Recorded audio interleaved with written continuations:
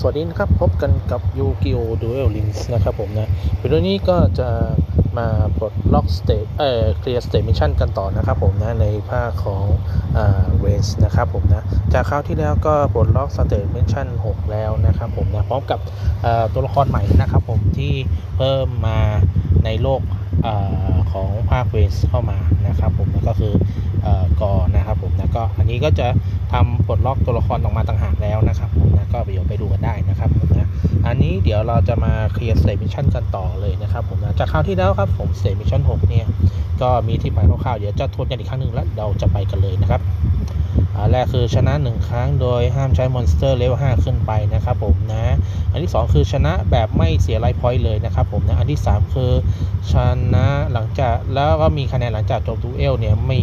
ได้คะแนนไม่ต่ำกว่า 3,000 แต้มนะครับผมนะ แล้วก็อันที่ 4 คือชนะ9ครั้งนะครับ ก็เป็นอันเรียบร้อยนะฮะ จบไปนะครับ เราจะไปต่อกันที่ stage mission 7กันเลยนะครับ stage mission 7เรามีอะไรบ้างนะฮะเดี๋ยวเรามาดูกันนะครับ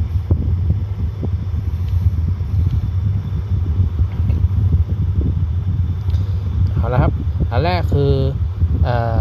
achieve achieve หนึ่ง quick victory นะครับผมนะในการสู้กับ Soulburner นะครับผมนะอันที่ 2 คือทำการอัญเชิญ monster แบบพิเศษ 4 ครั้งใน 1 duel นะครับผมของ โลกภาคนี้นะครับผมนะ อันที่ 3 คืออาชีพหนึ่ง without using any spell tap card in duel เอ่อ in duel world นะครับผมนะ อันที่ 3 คือแบบชนะโดยห้ามใช้การ์ดเวทมนต์กับดักเลยนะครับผมนะ อันที่ 4 ก็คือชนะ 9 ครั้งนะครับผมเหมือนเดิมนะ ก็จะไม่ยากเท่าไหร่นะครับผมนะอันอันที่ 2 นี่อัญเชิญ monster แบบพิเศษ 4 ครั้งนี้ในผมว่ามันไม่ยากแล้วแหละเพราะว่ามันมีการอัญเชิญลิงเข้ามาด้วยเนี่ย มันก็ทำให้การ เล่นเนี่ยมันค่อนข้างง่ายขึ้นนะครับผมนะมีแบบชนะแบบ quick victory นะครับผมก็คือชนะภายใน4 turn เนี่ยสู้กับ Soulburner นะครับผมก็ต้องจะใช้ตัวละครตัวเองหรือว่าจะใช้ตัวละครที่ปลดล็อกมาอย่างกอมาเล่นก็ได้นะครับ ก็ไม่ไม่ติดอะไรอยู่แล้วนะครับนะแล้วก็ชนะโดยห้ามใช้เวทมนต์กับดักด้วยโอเค เราจะชนะยังไงล่ะแบบ ไม่ใช้เวทมนต์กับดักเหรอไม่ยากเท่าไหร่ก็ไปเรื่อยๆของมันก็เดี๋ยวจัดออกมาเลยก็ได้แบบจัดเด็กไอ้คอท็อกเกอร์มาก็ได้ไม่น่าจะมีปัญหาหรอกเพราะว่าโอเคเราเราจัดไปหน่อยแล้วกันโอเคนะครับก็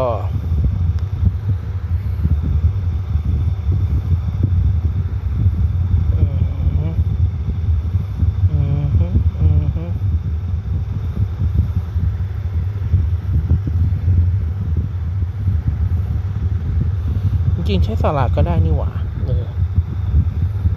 ใช้สลัดก็ได้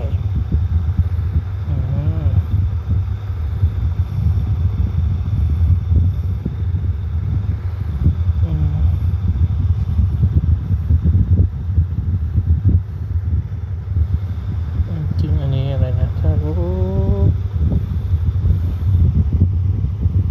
อืมอืมใส่เบิร์ดเนาะอันนี้ปุ๊บปุ๊บปุ๊บปุ๊บเอาไปข้างสเกตโอเค ได้อยู่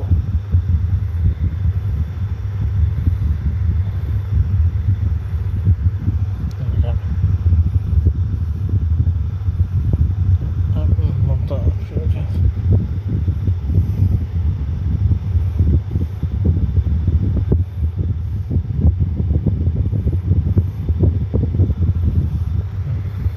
ใส่เมลแมทไป ก็ได้มั้งคิดว่านะครับก็ไม่ค่อยมีอะไร ผมว่าอย่างนี้นะ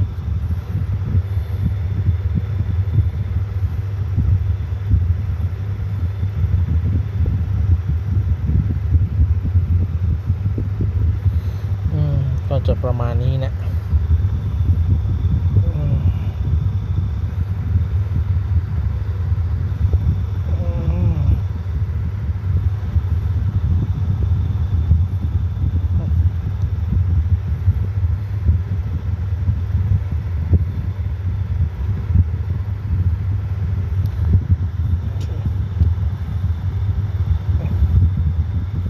ก็จัดแบบมาประมาณนี้แบบมอนล้วนๆทำทำลิงก์อัญเชิญ special อะไรไปเลยนะครับ ก็สู้ Soulburner ก็สู้เวลยี่สิบก็ได้ไม่ใช่ปัญหาหรือถ้าง่ายสุดก็ถ้ากุญแจเราไม่เยอะพอก็สู้เลเวลสิบก็ได้นะครับ ก็เป็นการประหยัดกุญแจแล้วก็เป็นการชนะเล่นที่ค่อนข้างง่ายด้วยนะครับ เพราะว่าใน mission ของ stage นี้เนี่ยมันไม่ได้กำหนดเลเวลมาอยู่แล้วนะเพราะก็ค่อนข้างง่าย กัน โอเค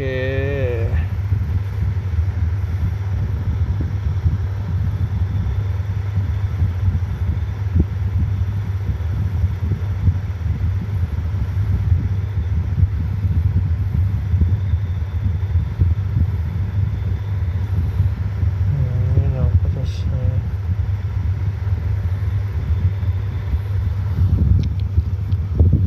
ลิงก์สองครับ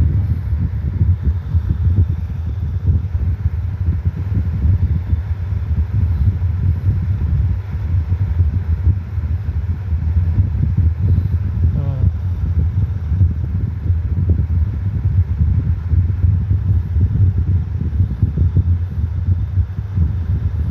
อืมถ้าใช้เป็นอะไรไปก็ได้นะ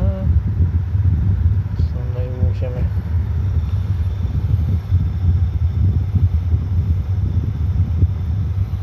อืมเราใช้เป็น administrator ป่ะเอายิงขาไปดิ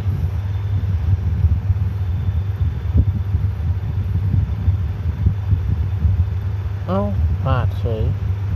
แล้วช่างมันช่างมัน ตะกี้ว่าจะลิงก์สามดันไปลิงก์สองเฉยครับ ก็ไม่มีอะไรครับ เพราะว่าอันนี้ก็เราสเปรย์กันมากันอยู่แล้วนะ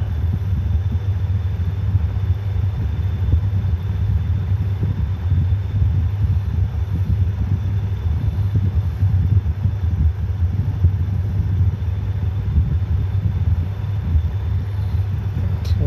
นะครับโ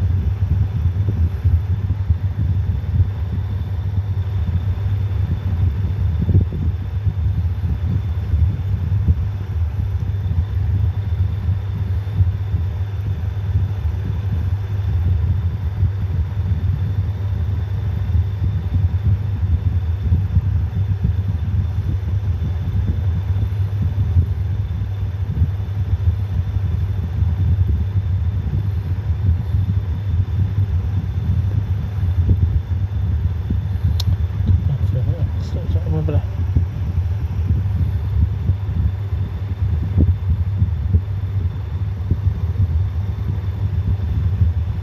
อะกดคุยกับตอรี่ ด้วยดิเออเนาะตะกี้ง่าอยู่โอเคครับก็เรียบร้อยแล้วนะครับสำหรับเอ่อมิชชั่นทั้งสองมิชเอ่อสองมิชชั่นบอว่าสามมิชชั่นเลยนะครับ เมื่อกี้ทำสามมิชชั่นเลยก็คือ เอาชนะ Soulburner แบบ quick victory นะครับผมนะ ก็คือชนะภายใน 4 turn นะครับผม แล้วก็ทำการอัญเชิญ monster แบบพิเศษนะครับผม จำนวน 4 ครั้งนะครับ แล้วก็อันที่3คือชนะโดยไม่ใช้การ์ดเวทมนต์กับดักเลยนะครับผมนะที่เหลือก็ไปเคลียร์กันต่อเอานะครับผมนะในส่วนของตัววิดีโอนี้นะครับนะก็ไม่มีอะไรละ เดี๋ยวก็เราก็จะไปเคลียร์นะครับผมกับออบอทในเมืองนะครับแล้วเดี๋ยวก็เดี๋ยวจะจบในวิดีโอนี้กันนะครับผมนะแล้วเดี๋ยวเรามากันต่อใน stage mission หน้านะครับผมก็ เดี๋ยวผมขอเคลียร์บอทในเมืองนี้หมดปั๊บก็เดี๋ยวจะขอจบวิดีโอนี้ไปนะครับผมนะ ส่วนตัวละครที่ไล่ปลดล็อกมาเนี่ยก็ไฟดีก็ปลดไปแล้วนะครับผมนะเพิ่มเติมมาหมดแล้วตอนนี้เนี่ยจะไล่ภาค ZEXAL กันต่อแล้วนะครับมันไล่ภาคเซออไปนะฮะแล้วเดี๋ยวจะไปต่อในอาร์คไฟอีกทีหนึ่ง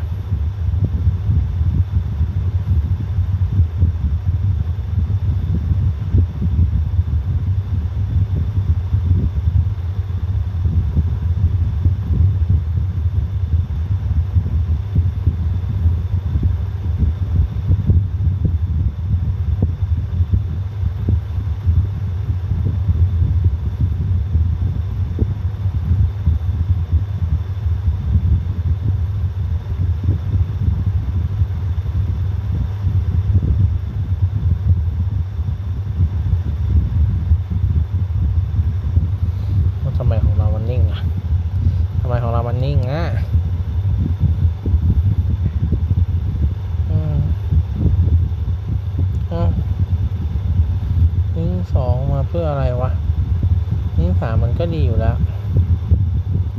เออเอออืมแปลกใจว่ะอืม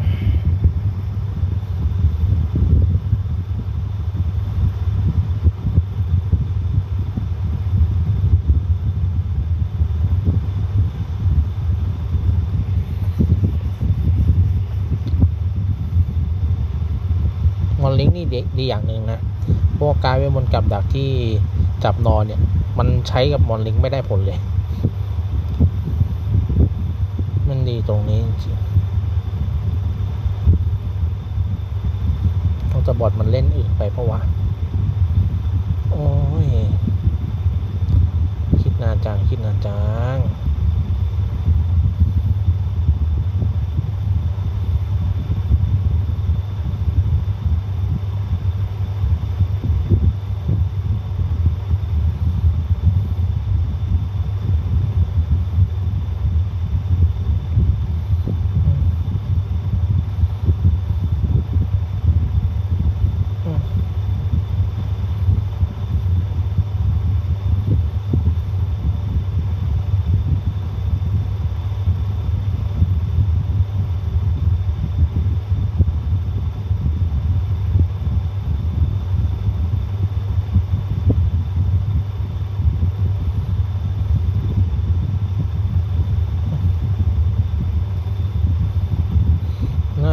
การวนของนะคิดว่า ของค่อนข้างดีอยู่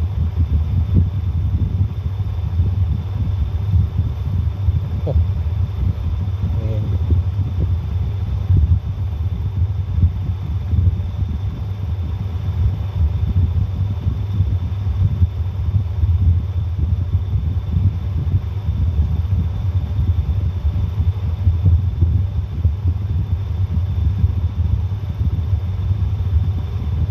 เออเพิ่ง จะได้เห็นคอมโบเอ็กซีด้วยอือหือมาแล้ว เล่นนานเหมือนกันนะเนี่ยบอทเนี่ย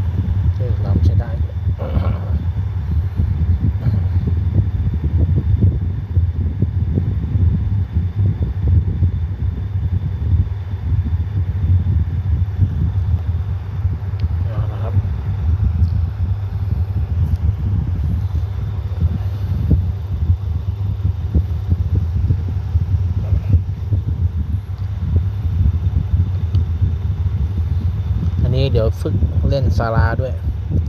เพราะว่า แต่ช่วงนี้ก็น่าจะมีโอกาสโดนสูงนะซาราเนี่ยจจะมีโอกาสโดนโดนค่อนข้างสูงอยู่ ก็ยังไม่ค่อยโชว์เท่าไหร่นะผมว่ามันการมันค่อนข้างเสถียรนะแล้วก็มันเล่นได้ทั้งก่อนและหลังด้วย ผมเลยว่ามันค่อนข้างที่จะเก่งมากเลย โอเค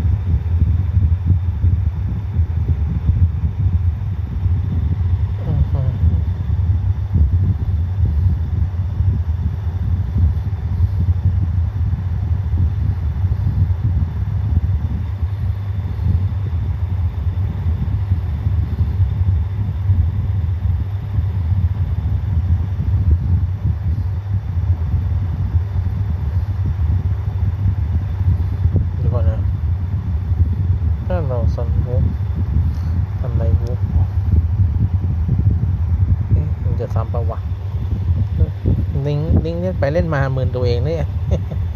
เอ้ย เดี๋ยวก่อนอะเดี๋ยว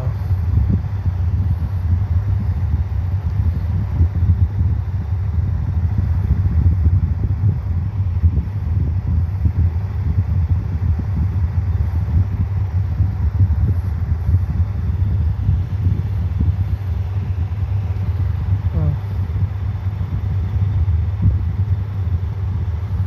เออมันเองเล่นเองเหมือนเอง อะไรวะ